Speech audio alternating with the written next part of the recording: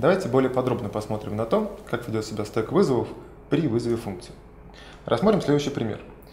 У нас есть функция main, в которой вызывается функция foo от трех параметров. Слева нарисован стек и также отмечено значение двух счетчиков. Первый счетчик указывает на вершинку стека, стек pointer.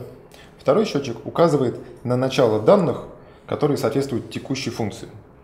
В тот момент, когда мы еще не вызвали функцию foo, этот счетчик указывает на начало данных функции main.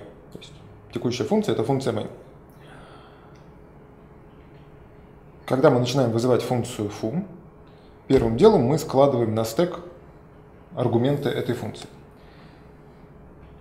Причем складываем их в обратном порядке. То есть если в коде аргументы идут x, y и false, то на стеке они будут лежать наоборот. Сначала будет лежать false, потом y, потом x. Следующим шагом мы складываем на стек адрес возврата. Это instruction pointer в момент вызова. Это регистры процессора, то есть некоторое состояние, которое потребуется нам, чтобы восстановить работу, когда мы вернемся из функции. И мы также выделяем некоторое место, куда будет записано возвращаемое значение. То есть, когда функция закончит свою работу, ей надо будет куда-то записать свое значение. И под это возвращаемое значение выделяется специальное место на стеке. После этого управление передается непосредственно функции foo. В этот момент счетчик, который соответствует началу данных текущей функции, перемещается. До этого он указывал на данные соответствующей функции main, теперь он указывает в начало данных функции foo. Данный счетчик используется для того, чтобы адресовать локальные переменные. Соответственно, локальные переменные адресуются относительно счетчика FramePointer вниз по стеку. А аргументы функции адресуются в обратную сторону. То есть функции известно суммарный размер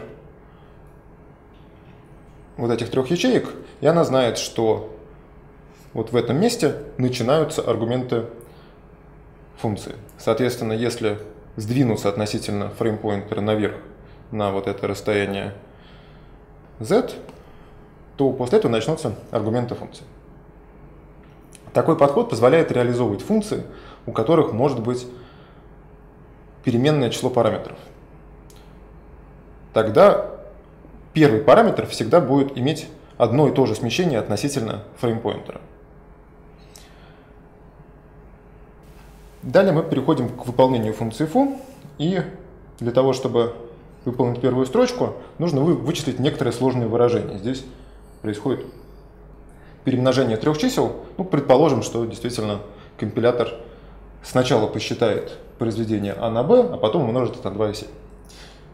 В тот момент, когда он посчитает произведение А на Б, он положит это временное значение на стек.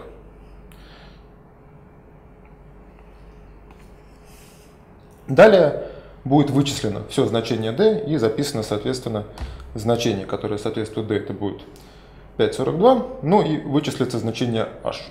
Здесь используется условное выражение, так как в качестве c мы передали false, то вычислится d поделить пополам, а d у нас 5,42, соответственно, округляя вниз, получаем двойку. Теперь мы подошли к моменту возврата значений. В этот момент мы уже знаем, какое значение мы хотим вернуть, и оно просто записывается в то место, которое было зарезервировано для возвращаемого значения. На этот, на этот момент функция выполнила все, что хотела сделать, и завершает свое выполнение.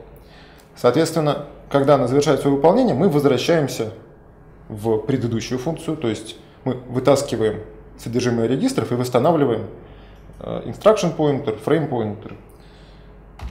И получается, что мы снова находимся в функции main. Про данные функции foo в этот момент уже забыли. Функция main восстанавливается после вызова функции foo. Для этого она записывает значение, которое вернулось из функции foo, в переменную x. То есть, так как возвращаемое значение используется в дальнейшем, то мы сначала изменяем переменную x, и потом просто избавляемся от всех дополнительных данных, которые нам требовались только для того, чтобы вызвать функцию foo. Таким образом,